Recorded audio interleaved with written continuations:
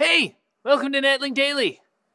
Sorry, I, I broke my glasses, so I'm wearing my contacts. But they're like a year and a half old, so they dry out really fast.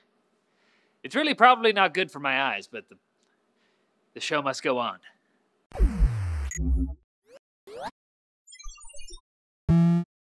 AMD's Radeon R9 380X is out, and so are the reviews. Seems like the consensus so far is that at its price point of around 240 bucks US, it's not bad in terms of price to performance. It's not blowing its competitors out of the water, but it serves as the current lead contender in its performance tier. Until Nvidia releases a 960 Ti anyways.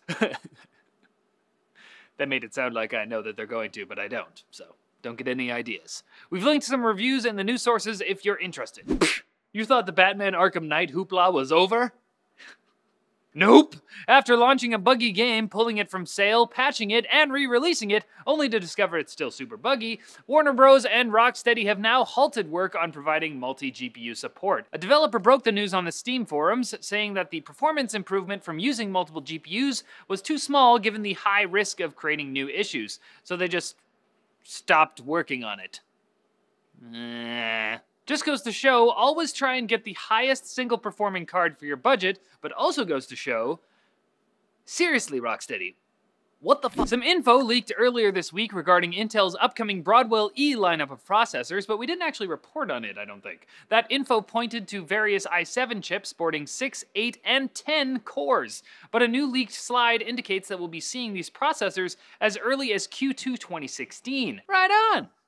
But we never even got the first Broadwell chips on desktop. Well, there was one or two. This is like getting a big movie sequel to a small TV series.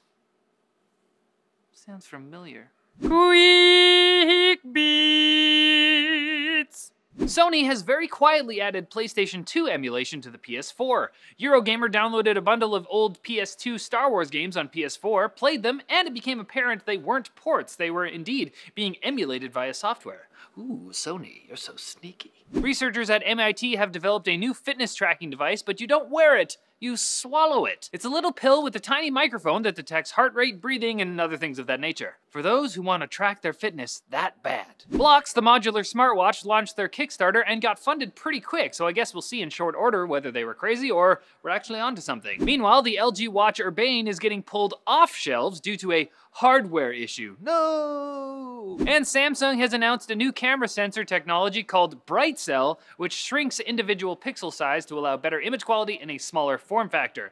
Let's just hope Samsung isn't taking a page from HTC's Ultra Pixel tech, because that was bad. News sources for all of today's stories can be found in the forum post linked in the description. So honestly, I googled this and I listened to the pronunciation guide like multiple times and I don't, I don't understand.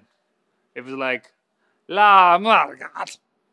So that's that's my best that's my best take. Today is a Friday, which means one week from today is also a Friday. I know things, but it's not just any Friday. It's Black Friday.